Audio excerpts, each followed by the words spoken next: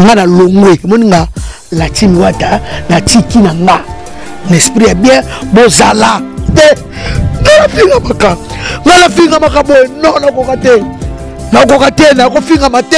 nakoki kofingama wi eza internet na biso tomesaka kofingama nafingama likambo na nasali eloko te nakofingama te na mama na simetiare kinkole mama nga kuna ma simetiare kinkole libolo na ye sambwe na bafana la tim kotala pwasi ya la tim nde bafingaka babosa ata mokie oyo nga nasali na oloba tro te babosa ata bolamu nanga ata moko meme ye wata olanda nga ata moko atali te bamesaki akomeli nga so na ntango na internet eza dega merci na respect tozalaki be tokamwa na bien nga na longwe na nga natiki na nzoka wata longoli yo te latime ebengani yo te bafani babengani nga yo kolanda bafani bafani babengani nga siko nga mpo nasepesa bango nde bakoki komebele somo nga lomba miso yanga ebima naa na chance na miziki te naa na chance na miziki te tokabwana kala ma makambo boya mike mike ya pamba pamba oyo bato bakobongisa nga mbere na ngai na sa mabele chaque jour banda wata pibia na page na ye spiritas libola mama na ngai efingama mikolo nyonso so nalamwi na ntongo depuis mercredi ti lelo nazofingama naototinela wata video naototinela message nayebisi ye natiki ye mpo mama na ngai apema na kimia olikam nini tineli na message tineli wata message na na miso na otina wana na presse na ye pa tozaka tosaka biso tout natiki na longwe na ngai natiki baza calme mpo mama na ngai mpema na kimia nakola biso bacapture bamessage naza na ye azomona bato tu nalembi nalembi nakofinga maka boye te na likambo na sali te kala fingi wela te nafingi wela te naotuna bakolakisa na video nga nafingi wela mpo libola mama yanga eza asimitsa na kikole efinga maka mikolo nyonso tu na bamessage pourkui na baodio nalukelaka bie nalembi na bamesana opesa ozokotia kuna na chaine na bino psa nalembi yaya nalembi nalembi nalembi tomesanaki na wata tozalaki bien nafingi wata te nafingi la, la team wata te eza tosaka bemission nasengi na fimbu na fimbu motu nyonso to asaka erreur motu tu asaka erreur motu moko te aparfait motu tu katufa asaka erreur biso tu tosaka baerreur biso tu tosaka baerreur tosaka emission na valdi bango balobi na fingi wera nayebi te oza journaliste otalaki émission lakisa ngai parti oyo lakisi toza na fingi wera mapata ya baka ya ndako ne bien nazalaka bien nalembi na badonga mokoso na okufa nakufa nakesa nanga nalembi nazosunga bato mpo eza mosala na nga naza le majeur bapesi nga yembaka te nga mosala na koloba nga mosala nga eza koloba oyo nga mosala nga nazalaka nango ya borkese nalobi nasali boye nasali boye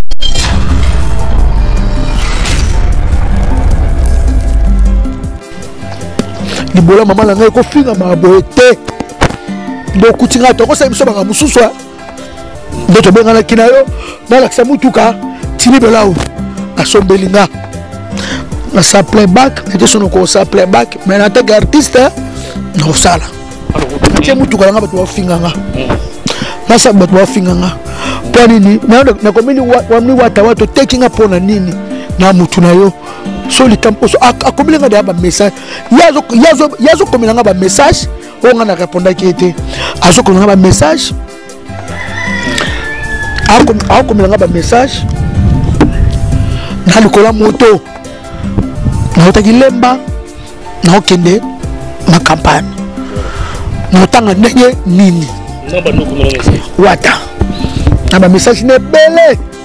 gato oyo likambo elakiti na moto natangi ah, oyo no répondre no boye te nazala calme na akomi ebele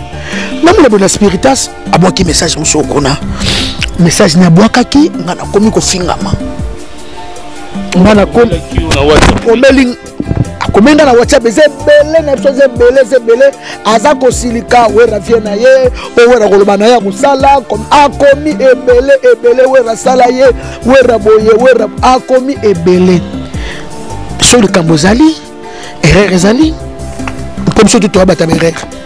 obengi nga nzoka tala boye nasepeli te tawera aza vie tokobongisa tokosala boye nakosu biso tozalaka biso tozalaka na biso nakozonga quand même na émission wana nayebi te soki nasalaki boye bolimbisa nga ntango ya publie bongo nga nakomi ofingama libola mama na nga mikolo nyonso tu nzambe asala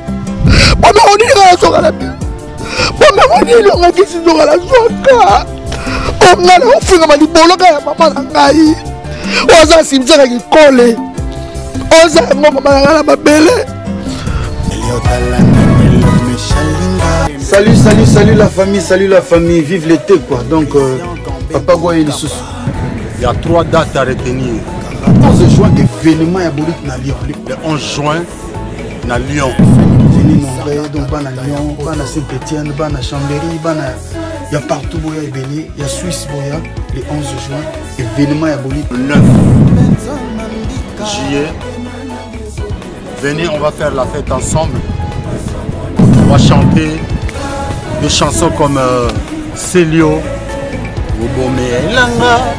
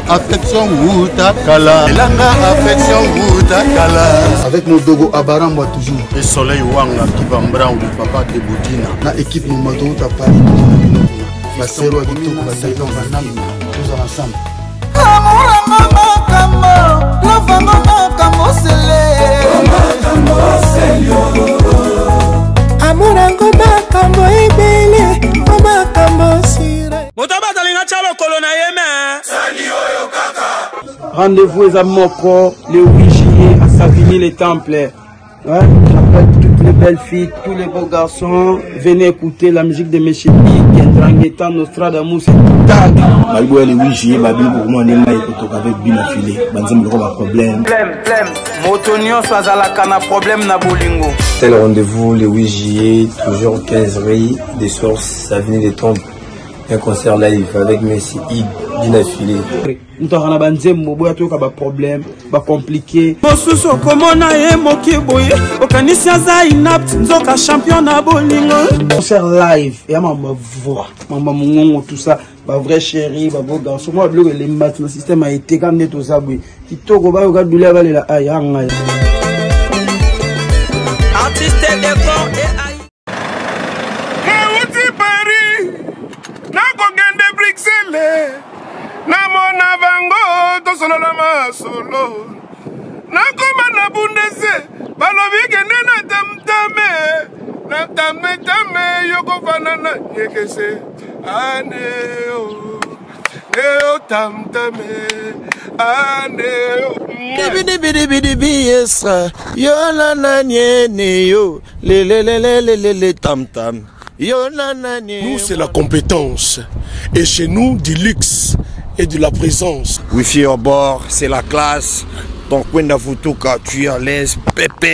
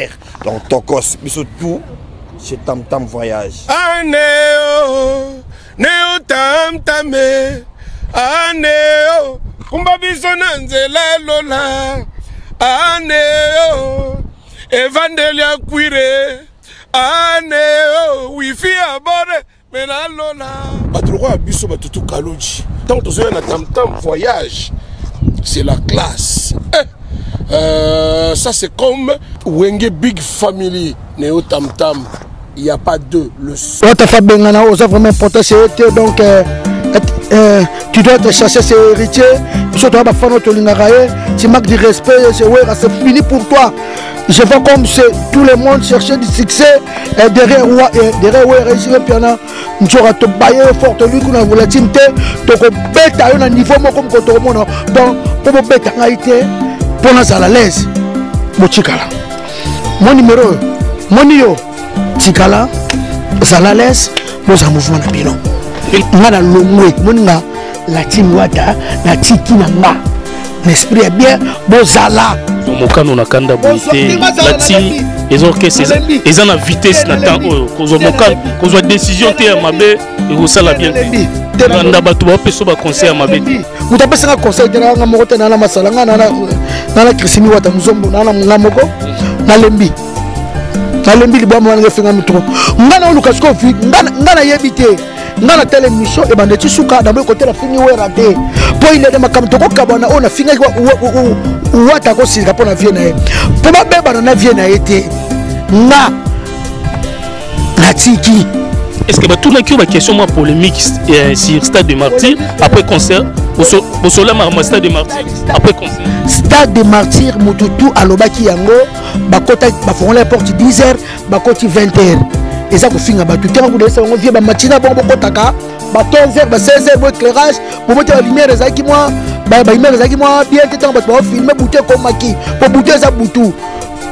ozo comprendre eza kofinga te eza mpe yaka barebaka mike mike mpo na koprendre bote na finga werrason yaya nga kisi njora libola mama na nga nde moto esambwe obi général ondekani alonga imana mpo ani bafinga ye libola mama na ye nga na imania na makila aolanda nga général ondekani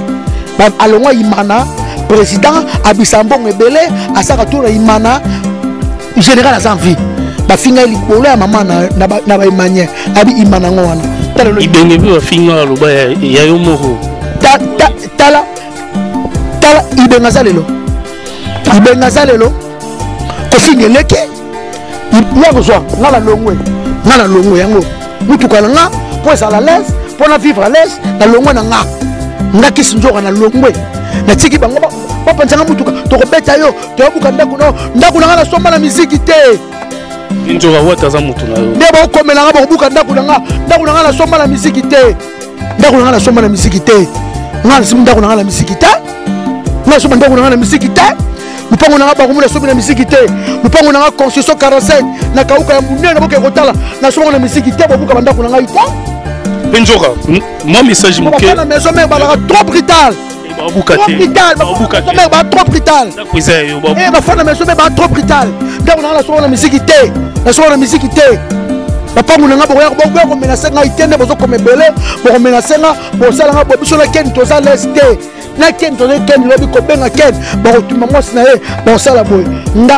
mpo na protege motuka na nga mpo na protege bakoko na nga mpo na protege famille na ngai nga kisi nzoka na lobi na longwe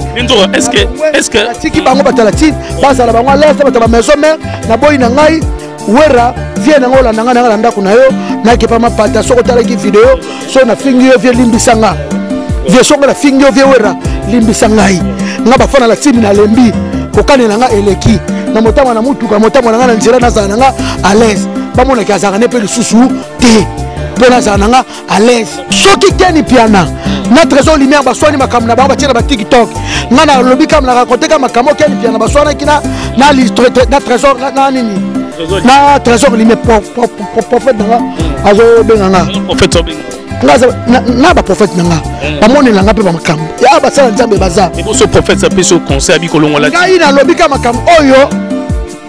ken trésor lumière moto aluki makambo oyo trésor lumière alobi na ken piana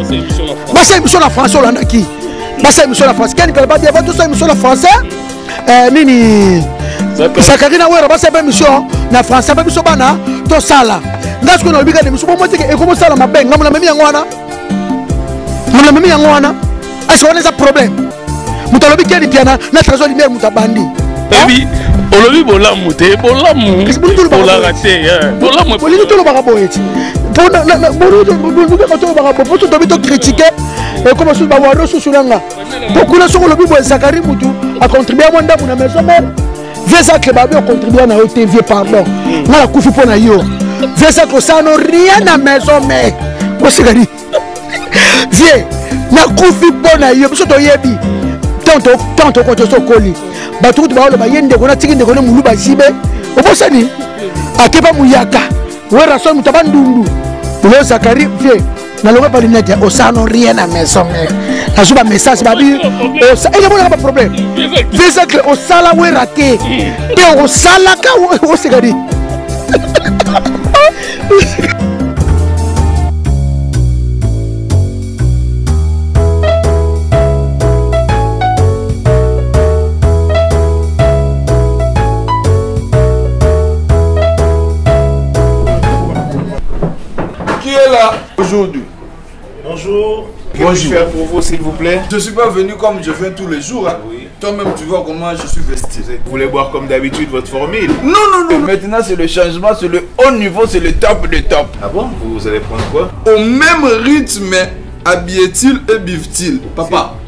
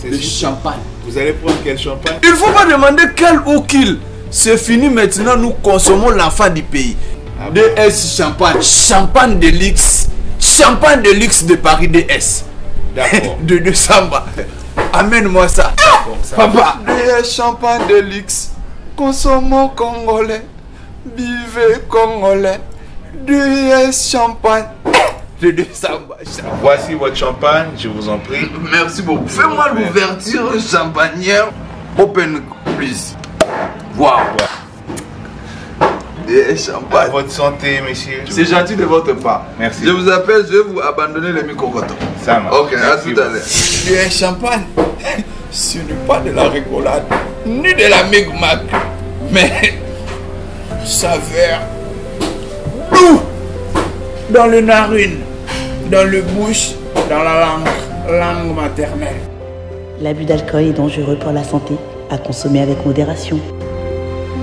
Épicerie Exotique, toute l'Afrique, chez Glody, vous offre l'alimentation bio en provenance de Kinshasa, la République démocratique du Congo. Papa Zana posa kolia bio, papa Zana posa kolia biloko euti mboka, kolia mungusu nyama ya zamba et autres contactez glodi au numéro 15 cours de rifi 65 000 tarbes pour la première fois sur haute pyrénées bana ya toulouse bana ya allemagne bana ya belgique bana ya suisse Livraison au premier niveau. Makambo ya kokende Château Rouge, à Pia. Contact et réservation au plus 33 37 58 29 62 88. Exotique toute l'Afrique chez Glody, c'est la meilleure,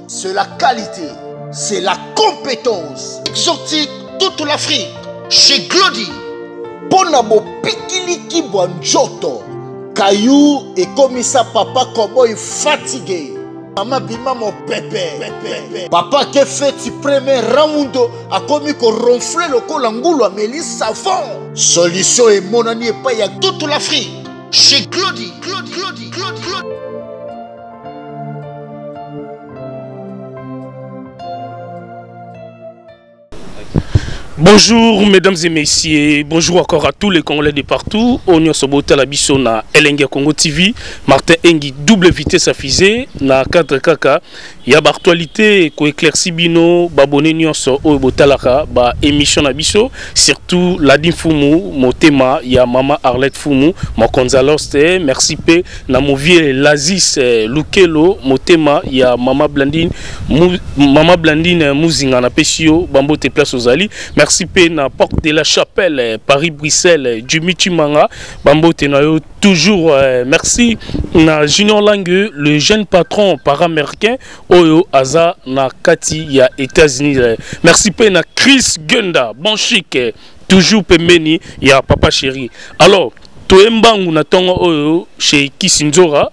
donc evin nzora mpo tosola na ye par rapport ya émission oyo bato ebele motu na motu alobi yango na ndenge na ye ajijaki yango na ndenge na ye ke vienjora afingi weranson alobi boye je crois bomonaki mpe message ya communiqué oyo ba batiaki yango na page ya latimi wata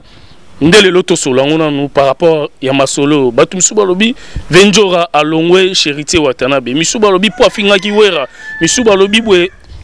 yango lelo temake nayambaki ye te tomonaki émission oyo asalaki na bandeko na biso ya fimbu na fimbu mais lelo tozwi ye nanu mpo makambo ekomi vraiment sérieux est ce que venzora afingaki Werrason to afingaki ye te aza na la team to aza na la team te mais je crois Benzora a respectera ba kulutu dernièrement bomonaki na Guinée nde bakutanaki ensemble na papa chéri Jube Mpiana ndenge alobaki basepelaki vraiment ke wana azali père na ye azali vieux na ye la team wata héritier watanabe azali oyo abimi epai ya weranson donc euh, komona héritier komona mpe mbala moko weranson donc euh, lelo tozwi vie nzora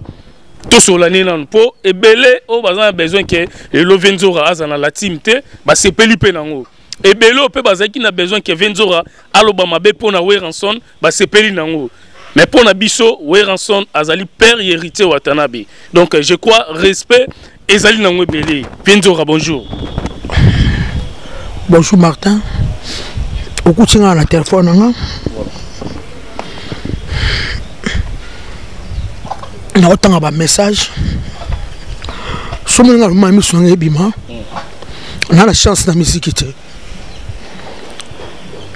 naa na chance na miziki te tokabwana kala makambo ya mike mike ya pamba pamba oyo bato bakobongisa nga mère na nga na sa mabele chaque jour banda wata pibia na page na ye spiritas libola mama na ngai efingama mikolo nyonso so nalamwi na ntongo depuis mercredi ti lelo nazofingama naototindela wata video naototindele message nayebisi ye natiki ye mpo mama nanga pema na kimia mpo likambo nini atineli na message atineli wata message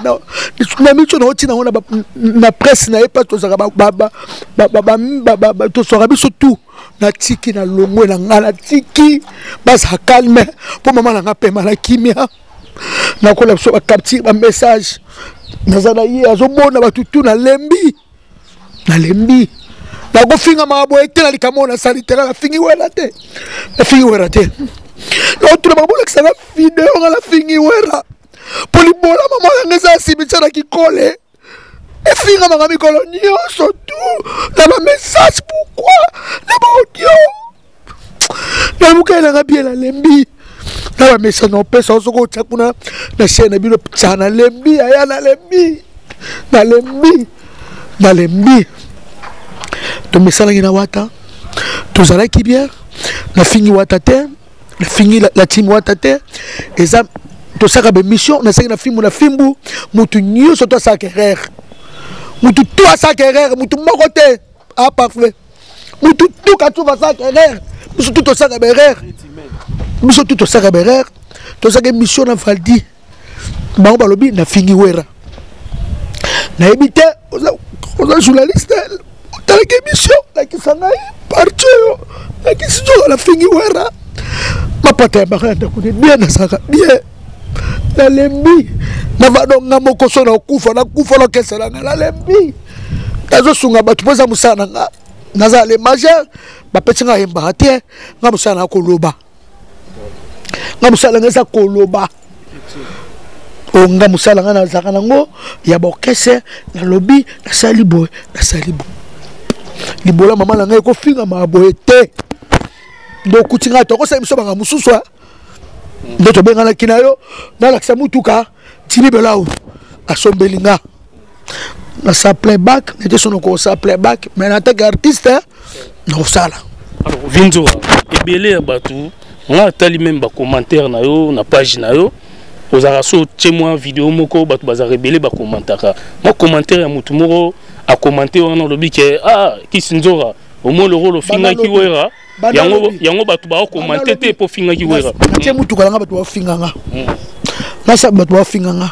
mpo nini nakomeli wamni wata wata oteki nga mpo na nini na motu na yo so likambo akomeli nga deya bamessage ye azokomela nga bamessage oyo nga na repondaki ye te azokomela nga bamessage akomela nga bamessage na likolo ya moto nautaki lemba naokende makampane naotanga ndenge nini wata na bamessage na ebele nga tu o likamni na kiti na moto na tangi na ah, on no répondre non boite na za calme non akomi ebele na mona bona spiritas abwaki message muso kuna message na bwakaki nga na komi kofingama nga na komi komeli akomi nga na whatsapp eza ebele na biso eza ebele eza ebele aza kosilika wera vie na ye o wera koloba na ye akosala akomi ebele ebele wera asala ye wera boye wera akomi ebele so likambo ezali erreur ezali mpo biso tu toyabata baerreur obengi nga nzoka atala boye nasepeli te tawera aza vie tokobongisa tokosala boye nakosu biso tozalaka biso tozalaka na biso nakozonga quand même na émission wana nayebi te so nasalaki boye bolimbisa nga ntango ya publie bongo nga nakomofinga malibola mama na nga mikolo nyonso tu nzambe asala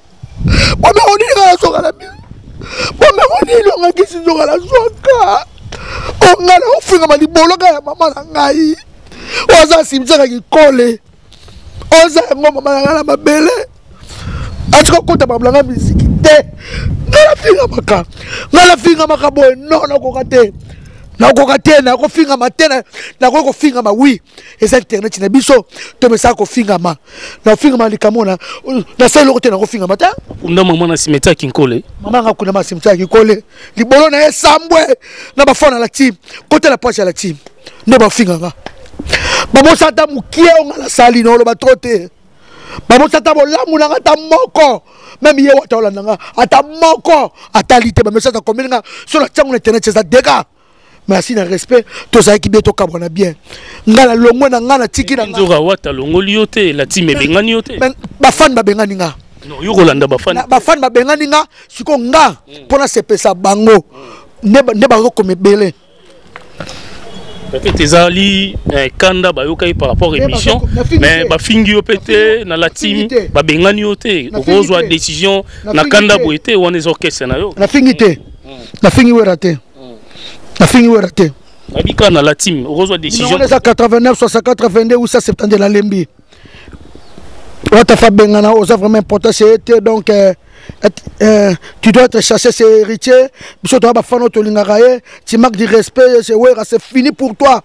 Je vois comme tout le monde cherchait du succès et derrière wa et derrière wa réussi même piana nzora to baye fort lui kuna vola timte to ko beta yo na niveau moko mko to mona donc pour mo beta ngai te pour na sala l'aise bochikala mon numéro mon yo tikala zala lese bozala mouvement na bino pinzo est ce que ozo nalingi juste oloba soki bato bamonaki ke olobaki mabe mpo na wera nalingi juste olobaka maloba oyo olobaki wana mpo bato ebele ntango mosusu bacomprendre te bayebisoyeba yango te ngai naoyeba yango te ngai naoluka video te ngai nalongwe emoni nga latimi wata natiki na nga na esprit ya bien bozala ozwa mokano na kanda boye te latimi eza orchestre eza, eza na vitesse na temps oyo kozwa mokano kozwa décision te ya mabe ekosala bien te landa bato baopesa ba conseil ya mabe te moto apesanga conseil te nanga moko te nana masala nga nana nana krisimi wata muzombo nana nga moko hmm. nalembi nalembi libwa mama nanga efingami trop nga naoluka sikoyo nga nayebi te nga na tele mission ebanda ti suka na moyi kotela fingi wera te mpo ile de makambo tokokabwana oyo na fingaki wata akosilika mpo na vie na ye mpo babebana na vie na ye te nga natiki est ce que batunaki yo baquestion mwa polémique euh, sur stade de martyr après concert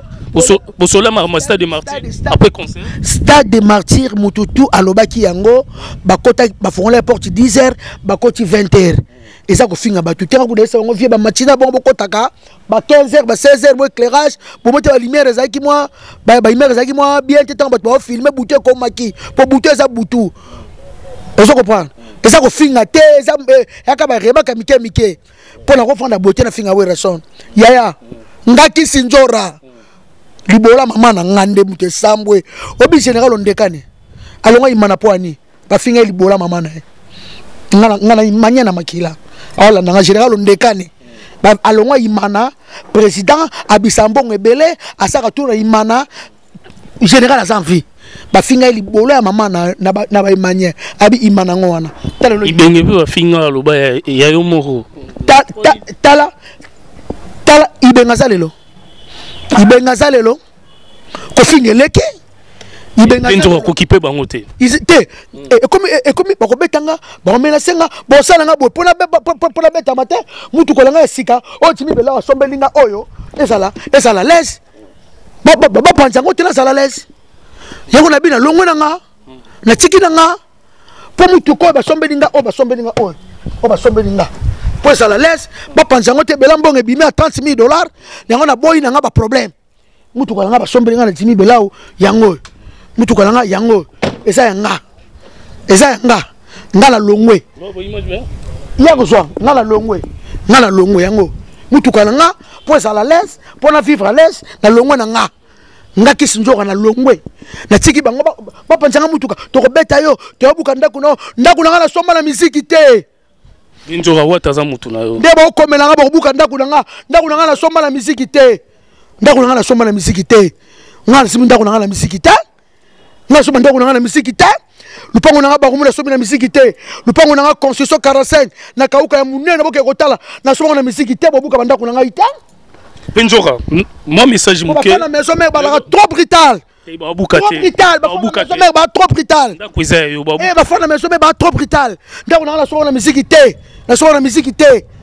bapangu na ngai bokoya komenase ngai te nde bozokoma ebele bokomenase nga bosala ngai bo biso na keni toza lese te hmm. na keni toza keni lobi kobenga keni bakotuma mwasi na ye bakosala boye nga mpo na protege motuka na nga mpo na protege bakoko na nga mpo na protege famille na ngai hmm. nga kisi nzoka nalobi na longwe natiki bango batala ti bazala bango alese bato ya bamaison mare na boyi na ngai wera vie na nga olanda nga nanga na ndako na yo nakepa mapata soki otalaki video so nafingi yo vie limbisa nga vie songa na fingi yo vie wera limbisa ngai nga bafana na timi nalembi kokanela nga eleki na motama na motuka motama na nga na nzela nazala na nga à l'aise bamonaki azalaka ne mpe lisusu te mpo nazala na nga à l'aise mama silesi mapata ye nde kutu makopi nakenda na ya ndako epa na ye ana ofani na nga numero 0 toliaka tomeli mwa champagne mama silesi mapata soki bomolaki émission kisindjora nayebiki mama aza moto ya mayele atangi classe bakota na fimbu na fimbu mama soki omoni kisindjora afingi ou nalobaki mpo eh, moto nyonso asaka erreur na maloba na biso micro oyo ekobomisa biso mpe un jour mpo toyaka bato so mpe naloba ya mabe bolimbisa nga mpo nga nazala na nga à l'aise mm. natiki na nga latimi wata alors venzoka bato ebele bamonaki yo pembeni ya kofi olomide lelo bamoni yo pembeni héritier watanabe baolinga toujours Euh, oshite baolinga toujours bapasi na yo toyebi te oyo moko bato bamonaki pembeni héritier watanabe apa kofi olomide lelo baozela yo venzo okotikala yo moko est ce que ozomona yango te ke bato bafanatike eh, mpe bato misusu baotinda mabe te problème eza te naotala bokesa badanger na osala makambo ebele mpe na longwa na nga Hmm, tozonga boye voilà gloire abi tozonga boye mpo na image ebele bayebi te ozalaki pembeni ya kofolomide lelo bamoni na latime so bamoni oyo moko mabe te boye hmm. naza nga moko na moto nao vivre nao vivre parce que biso ozalaki na besoin ozala nao na latisomba latie balingi nga te latie balingi nga te nalongwe wana sikoyo kokota wapi mpo bato misu na mona oza na barando na bango naza hmm. naza problème eza te hmm. problème eza te naza nanga naza nanga na vandi okota fali tomonaka osolaka te kote ya nani problème eza te kombo tangiana mpo na ngai natanga kombo neti combien d'année 16 ans mm. soki disoki 15 ans mm. esali nini esali nini tobanda droit chemin kwa tosama mutu mm. esali nini nazala sud esali nini naza na ngai nao vivre bcbg jibe mpe na 16 ans esali nini naza na ngai ti naza na mutu nao vivre naza nga mama na nga fa finga malamu so alikambo nayebi ke motema na ngai bike nasalaki mabe oyo nasali mabe te oyo nalobi eloko moko te antuka nga kisinjora mama na nga kofinga mabote na simitiare ya kikole place bibe esika asele pierre tomba lalalaka wana fanda wana mama na nga kuta change adresse atika biso na mokili oyo nyonso tu mama na nga botanga nasali ni bino na timi wata bofuti nga boye ya kofinga nga so likambo ezali na biso mmcg bokokemba moko te bopiblie bongo na se na wata spiritas bobengi ngai toza mikolo yaya tosi tokoli tokaba na su na bamabuso baboye te tokaba na su ya koswanaka te so tokaba tokaba so mpe na esprit ya bien après makambo obengi deja héritier watanabe na ndenge ya calme avant ozwa décision oyo nakobenge koma naza nde na buku mombatindeli ngai aoyoka ngai te nakobenga ndenge nini okomelaki message azoyoka ngai te nafingi vie na ye nalobeli vie na ye mabe nakoteli zacle nayebi te zacle yango nakoteli na nini nayebi te zacle yango nakoteli zacle na nini ngai nazo gaze zacle ata mikolo eleki nayebisi na emission na bino te yebisi seke yo okofula wera te yo okocreye wera te ndenge bakosali wera ofabrike na emission ya bino te ye wata azoloba na sens ke ba wera ba oloba na JB ba oloba ke nga mutu ye muta tindi nga ya ni tosaka be misobo ye wera muta maele na JB trésor ingo yebi ba meke joko oloba bilobela na bango ba loba na internet ba bike o eza we o eza wata te eza njora ye moko pourquoi wata okanisa bongo etete mwa basepeli te mpo na podium ya stade bamonaki présence héritier watana baensemble na bavie na ye lelo ta mosusu zakari bazwe aloba mise à jour esimbi te edérange mpe héritier bemiso tu tosali awa oyo tosala awa wata sa tinda nga jamais sankara oti kofinga wera ya mabe yo yaki nga nokoteli wera te o oh, maison mère ekufa osekani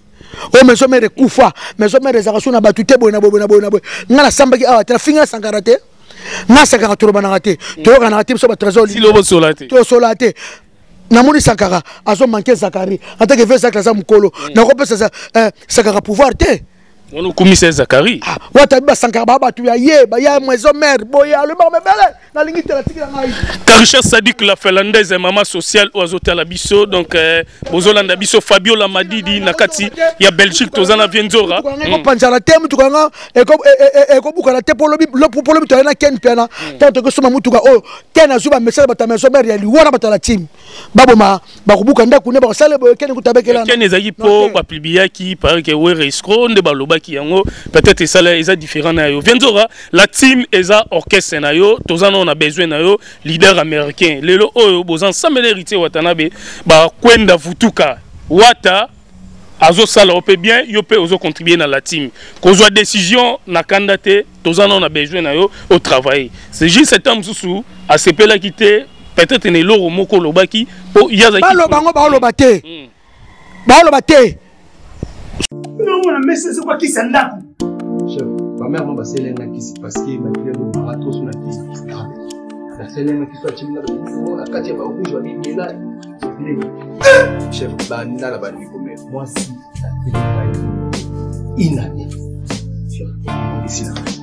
omoni bokufaka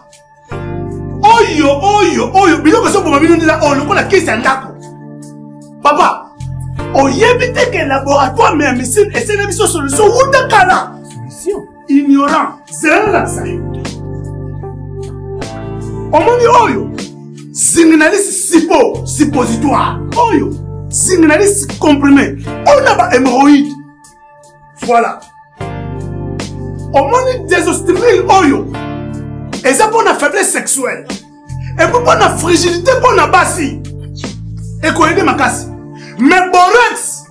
soki osisi traitement nyonso tu ya hémorroïde nde sikoyo kobanda kopakola yango mpo na nzoto ya biso bapapa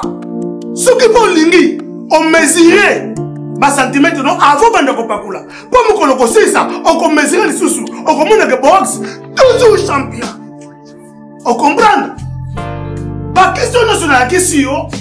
okozonga esika mosusu te na congo kaka na laboratoire me ya misine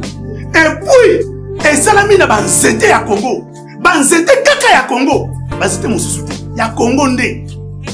mama nakosi te patro kosi te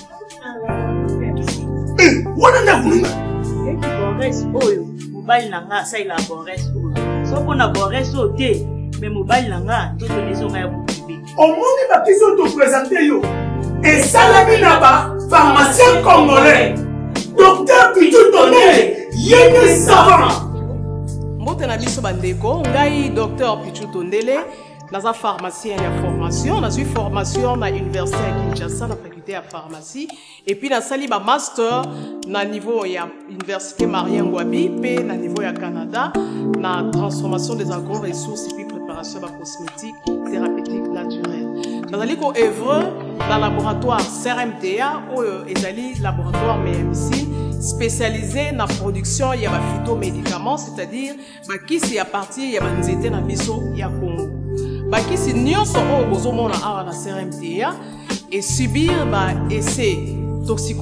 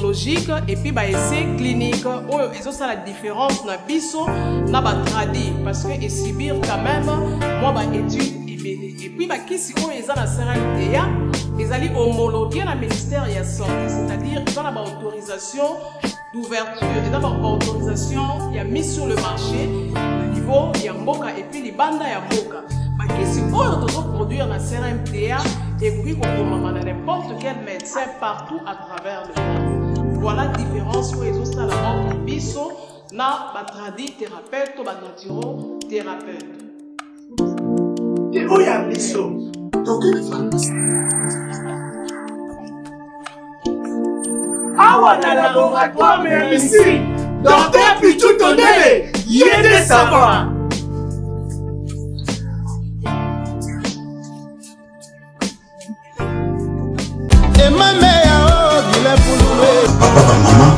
assurance na vie ya moto c'est très nécessaire ya mituka ya bandako ya bana ya baekole partout ya entreprise emame ya za wana mpo na biso bakongole emame ya fondation lisalisi bamama bena mimichikeva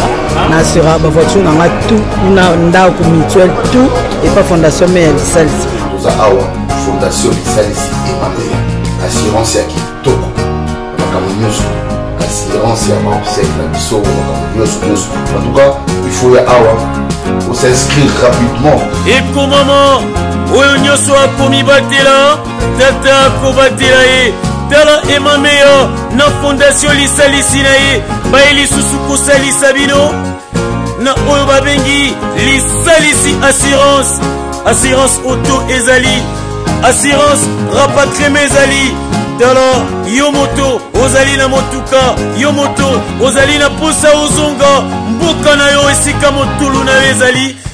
kangama na lisalisi ya assurance nazosenga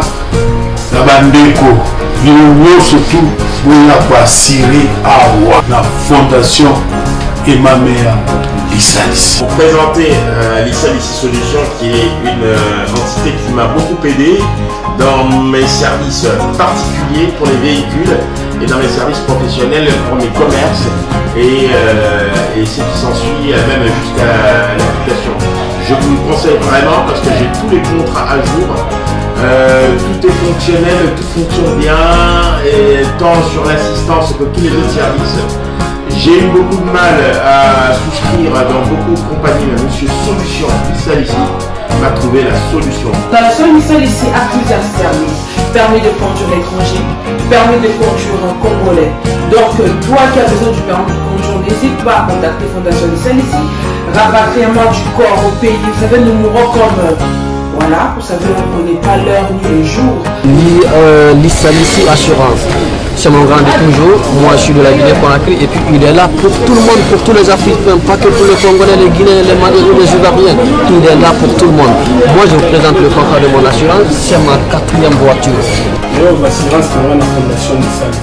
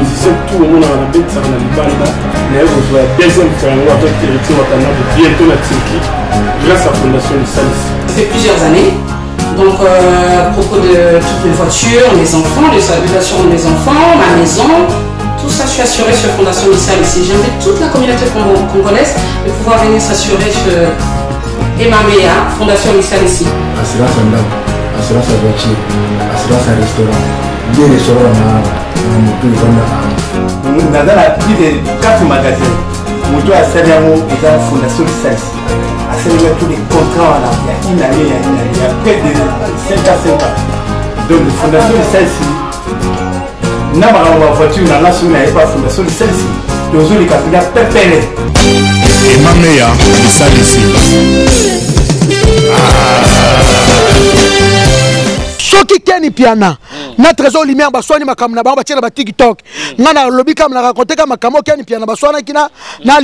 na trésor na nini na trésor lime prophète na nga mm. azobenga nga na baprophète na nga mm. bamonela nga mpe bamakambo ya basala nzambe baza ngai nalobi ka makambo oyo Ken Trésor Lumière moto aluki makambo oyo Trésor Lumière alobi na Ken Piana basa émission na français olandaki basa émission na français Ken Piana babi avant tout ça émission na français mm. euh, nini Zachary na wera basa ba émission na français ba biso bana to sala mm. nga siko na lobi ka émission bo moteke ekomo sala mabe ngamu na memi yango wana ngamu na memi yango wana est-ce qu'on a un problème moto alobi keni piana na trésor lumière moto abandi te batika na mouvement na bango voilà bocomprendre euh, donc euh, nde vienzor azali toye kaka mpo toyokaki yango tolinga vraimen okota yango te polémique oyo mais loko eza makambo ya miziki fayaki biso mpe na elengi ya congo tv tomeka koeclairci bato nyonso bazotala biso jimmy chimanga porte de la chapelle paris bruxelles solution merci mpe na chris genda bon chic babi moto moko bien chris genda na pesi yo mpe bambote place ozali alors venzora lobela bafanatiki na yo oyo mpe bazali banda kozela eh, mama pengui epuis chanson beteli jumi bela mpo tomoni déjà eh, mercedes yango bapesi yo ezolakisa mpe osa mosala na yo kitoko na kati ya mboka na biso na république démocratique du congo toujours mpo na culture ya mboka na biso ekende liboso mpo motu moko ntango ofanda kaka boye aza na bandeko na ye nasala playback ya jimi mutu moko te ezana deja hein? mutu moko ta kofandaka boza bandeko nazwa ebela mbongo asombela yo mutuka boye jimi belau napesi ye bambo te place azali jimi belau mai ntango andimi apesa yo seke azo reconnaître mpe mosala oyo yo ozosala mpo na culture ya mboka na biso euh, kodécourage te kolela te kodécourage te vie ezalaka boye Hmm. te wana prophète moto abenga badimere konyonga bakofinga kacu bamekana ongaka bakofinga nakomi kofingama kacu bayamba nasengi jimi belamo merci okoki koloba te namoni ave nzoka opema asengi merci oyo asali kanda olobi aa na famille na ye hmm. aa na bandeko na ye mais kobimisela nga ebela mbongo wana 30 000 dollars kosumbela nga eloko ya boye donc euh, nasengi merci et puis na général euh, john chibango mm. mon grand frère mon général john chibango général ya propre hein, général ya boga général oyo mpena osanti mpena ke euh, général quoi nasengi merci nasengi bango merci donc nasubi bien te mpo nazala à l'aise omoni tolamukaka toya bato okoma banzembo tolekaka baémission fo te beloko oloba foke kosala boye olamuka ntongo boye kaka libola mama na yo kaka tufi na yo bamisusu bafinga nga boye bakotisi na bana na ngai tala zida na silika zida na beta materasi mutu bafinga bamama na ye na basere na ye ngalo mwana nga dakisa sambwe koko na nga sambwe naso zidal zinedine otala match ya italie france asilika trésor ilunga boyebi mpo bafinga basere na ye mpo bafinga basere na ye asilika betala motu motu aza rouge lelo france akata coupe wana mpo zidane azwa rouge ngai nalaa bien tosaka mosala bien bato to bamonana nasaka mosala francis diba ya bonne chance bocontinue boulot dadimola bapeti na ngai tope bocontinue boulot bosala boulot bien la team ekeka liboso ngai natiki na ngai naa na bakese ebele oyo bapropose ngaozonga su chez kofi obende na quartier latin ozonga su quartierkutu palais tozongazonga na biso na palais wana palais mais pour le moment oyo aza besoin na nga abenga totravaille na olobela ye tosala bulo tomatisa kaka bulo aza na mouvement na nga naotravaille na nga nzembo na nga mama pengo esimbi nzembo na nga ya jimi belao ekangi ya libwa bato baozwa playback nao change bilamba bato baozwa playback ya robi vrema display en couleur ya robi vrema display en couleur napesi yo mbote ya budu samba garçon de sens na lion naosala générique mwa mikolo oyo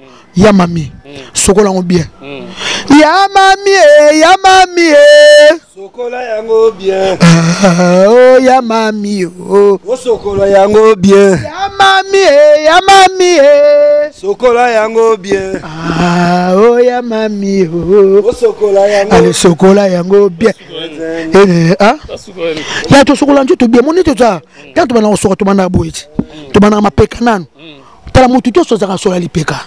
ata ata la reine il faut sokola ngo bien il faut kotia ato so saka Richard Sadik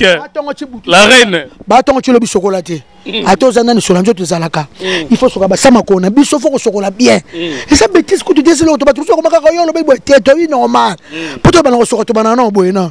Eh, ya mami e ya mami e sokola yango bien ah, o oh, ya mami o mm. oh, osokola yango sokola yango bien mm. ezakela yango bien etela sokola yango bien enikaka yango bien sokola yango bien enikaka yango bien sokola yango bien papa sepela na butu mm.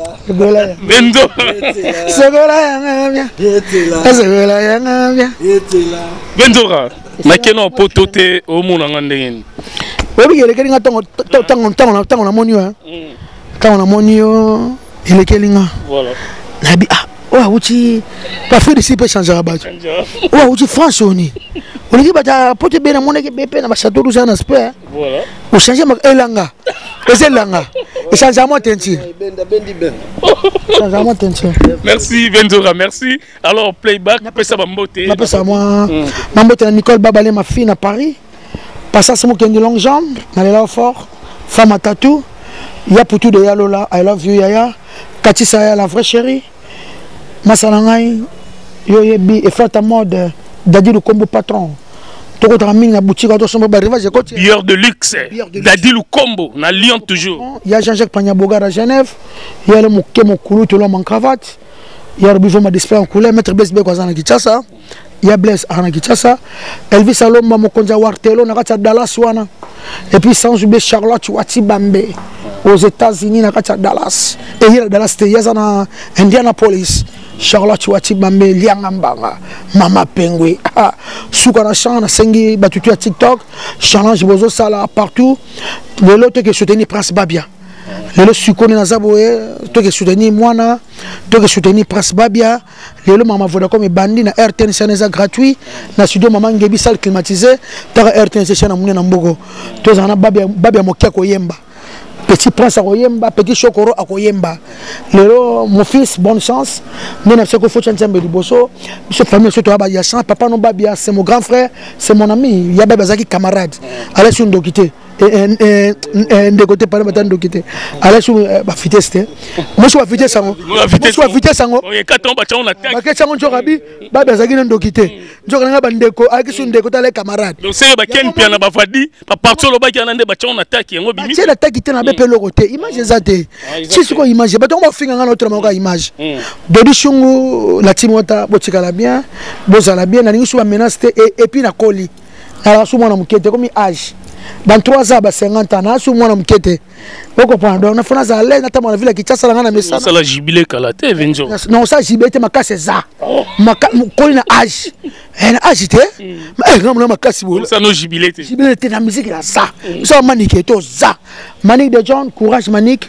eloko na opesa mwa conseil moke manike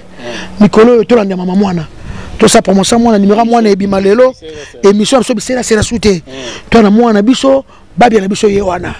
relève yango wana tobota musicien tobota boye motu nyonso ta bana musique monde atie mm. abanda mwana ministre te mwana président de la république te mm. soki ba Michael Jackson bato te bauta kaka mosika presse ozwa ba producteur presse osala makambo ya bien distraction eza te ma chérie i love you mais mais mais mpo tokabwana après wenge le 29 octobre na stade de martyr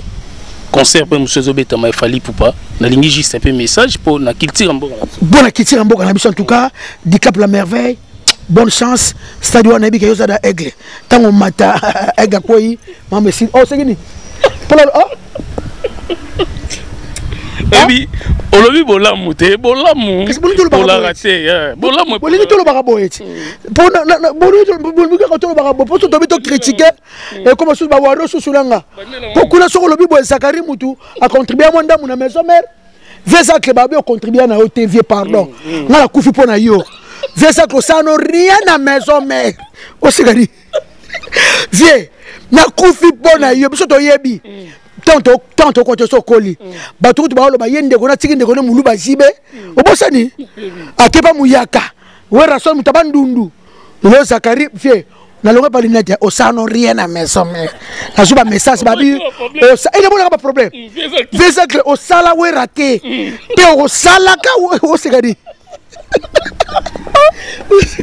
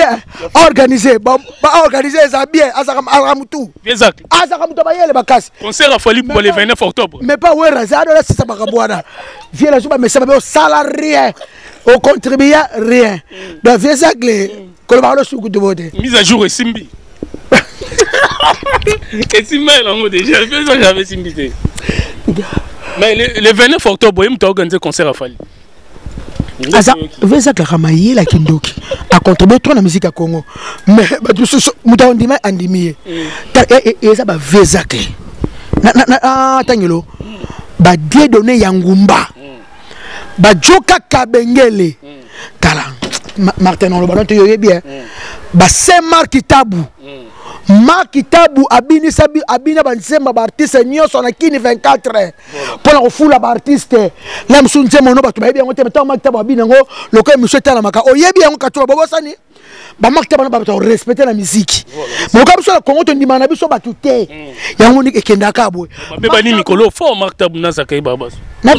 kasi mpo na mambo ya concert te tenga kuna eza nokuna te makambo ntango nayolo basuba ekomi nga makambo fesa kosali rien kosa wera rien bakomi nga mesa osa wera rien bato wera rabi osa rien mm. bafesa kosano rien donc eh, problème eza awa oseka nini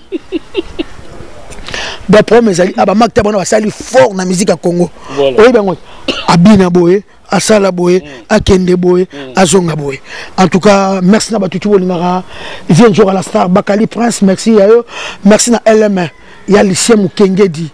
bel homme merci na deka didi mowenga on est toujours ensemble merci na dira makaya bel homme merci na maître corre makengo peinture ya corre na lela fort merci na aniyoka merci na bato tu bolinga nabika kachuva oloba na makopine chéri uh, euh, rebecca wonga mélanie inter ya lievin kasese i love you laeni kawa la vie c'est comme ça voilà. euh, bon naloba mpena la vie c'est comme ça makambo ya musique ezalaka boye mais bafingaka tanga moko babikaki nzoka asalaki babe tofinga ye elongo na koloba kaka nimero na ngai ezali boye naopesa bafan ya la team wata nyonso na ya maison mère 81 99 088 65 nafandaka mingi na bozwa nga mingi epa vie na nga vie na nga euh, teams kabengele nazalaka mingi wana botindela nga eh, trésor ilunga parti ya video emission keni tiro eza youtube mokili ekoma video ata bale boyebi ekoma video mpo tozala bien emission akeni mpe elongo ete yebi e, e, eza eza na youtube botindela nga parti na nimero na nga nayeba berere na nga oyo eh, eh, kofingo na fingi ya wera mpo ekomi ka ofingi namona eh, mpasi na fingi après yo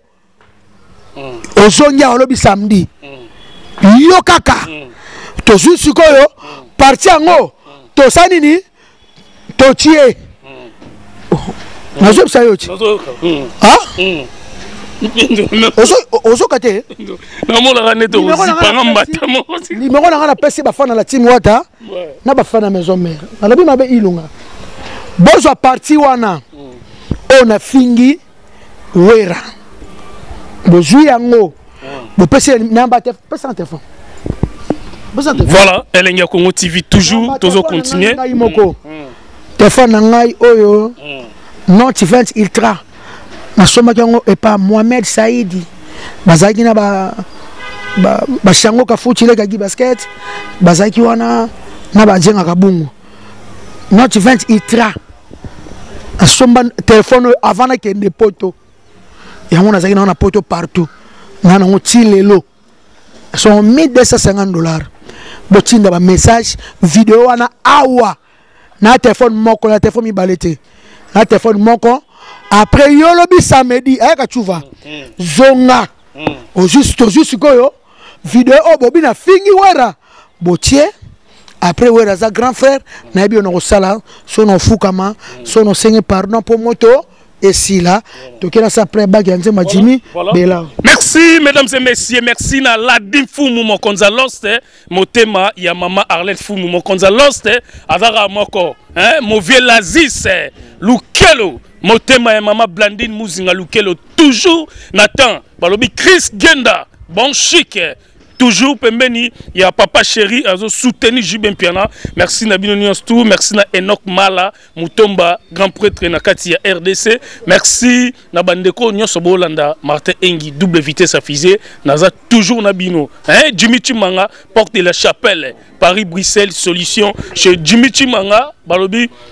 salon ezalaka moko fbs ya francis wei na bandal tubango wana kota bloc babi londres ekwei na kinshasa merci mpe na fredi ndongala irlandais babi flat hotel eza moko les irlandais na kitambo velodrome arrêt chanique mpo na baséjour na bino vacances yango qualité kuna alors mwa bambote na bato nyonso mbote eza vraiment naza na mm. mai ya miso na badossier to ezoleka etanke directeur ya cabinet wata goga naza patron oyo afutaka biso chaque fin du mois toza vraiment très reconnaissant na ye eh, ya koloba eza te oyo akoloba eza kaka ke programme aussi il y a biso batoza parce que avec leader américain Kachova tozwaka temps na biso sacrifice ebele pona héritier wata awa so totali be euh, leader américain azoloba ya toujours bafan mm. oyo bablesse mm. mais secrétaire eza secrétaire chali te eza mpe boss gogan te sikoyo le problème eza avec le temps euh, boza bajournaliste eh, boza bajournaliste eh, boyedaka mpe biso monoko ebetaka libaku toza bato soki mbote na opesa mingi epa jimi watula na paris mama lopango nzela minu na opesa mbote na odile makwakwa motema neto dangola na opesa mbote na cédric mandembo cédric mandembo vraiment papa na steve papa na yang napesi mbote na ngai osusi mingi epai ya fifino anelka napesi mbote mingi bana la team wata ba beret rouge napesi mbote mpe na bato basoutenaka kisi nzora toujours aza na mposa baconseil aza na mposa martin oide aza na mposa ya vieux febol market aide aza na mposa conseil aussi ya secrétaire na biso chali aide parce que ye nde aza na biso nyonso tokoki oloba eleka hasard te kanda eza mopaya ekendaka martin moi biso bato ozalaka mpe pembei na ye aza star a ah, lider kokabola bolingo mosusu nga namonaka goga tofandaka na salon nele mosusu bamise balibanda mais respect apesaka kisinzora mais lelo bafane baoyeba te bolingo nini oyo wata azalaka na yango na kisinzora mais lelo ti azoloba bengira bakombo ezobima balibola bamama eza ebele nasepelaki osila tozwaki jip mpo nazalaki ve jimi wa ve jimi oyo apesaki biso